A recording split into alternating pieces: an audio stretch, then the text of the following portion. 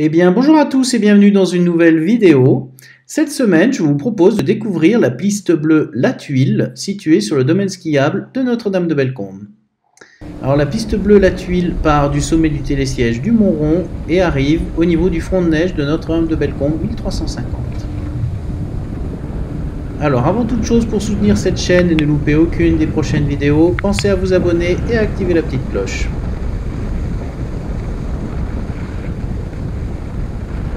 Alors une petite précision, ces images ont été tournées euh, au mois de mars, donc c'est pour ça que la neige peut être euh, transformée à certains endroits.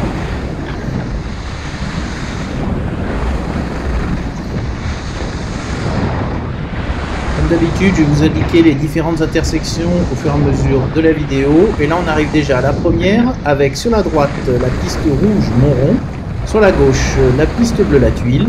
Et en face, euh, même si je ne l'ai pas indiqué, la piste noire est branchée.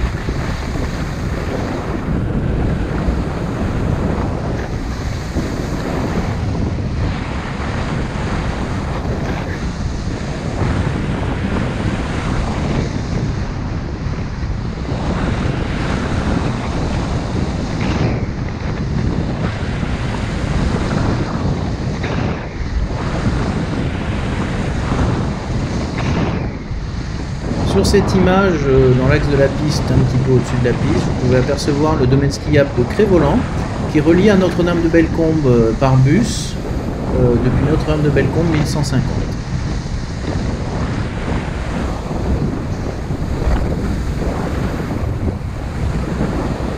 On arrive au niveau de la deuxième intersection avec sur la droite la piste bleue La Tuile et sur la gauche la piste rouge Corbel.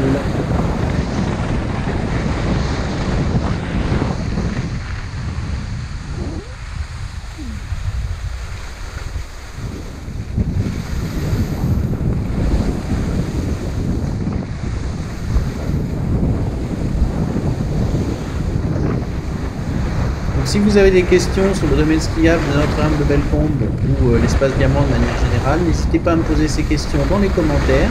Je me ferai vraiment un plaisir d'y répondre.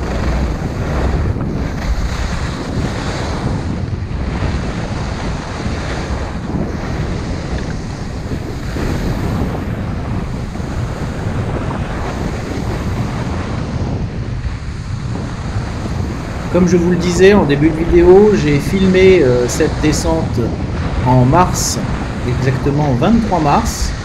Et euh, malgré le, fait qu'on soit déjà au printemps, c'était une journée où il faisait très chaud. Euh, là, quand j'ai filmé, il était 14h. Vous voyez que sur cette piste-là, en tout cas, la neige n'est quasiment pas transformée. Très bonne à skier.